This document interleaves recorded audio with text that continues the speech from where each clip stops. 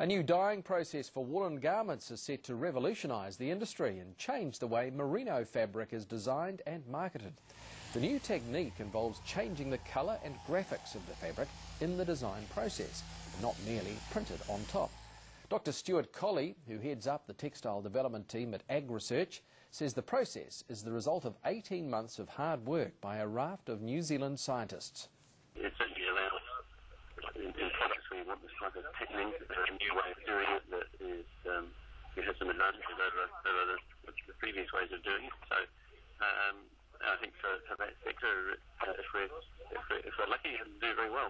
The fabric will be commercialised and manufactured by Wellington company BGI Developments, which hopes to supply international fashion houses with the material. BGI's director, Robin George Neach, says the collaboration is a classic example of how the many stages in our production sector can work together.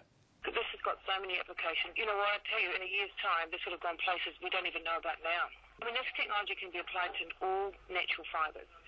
So wool, possum, silk, cotton, and we can achieve a level of dyeing and clarity that's never been available before. Both parties say there's considerable international interest in the process and the fabrics already, and there is potential for the innovation to become the new norm.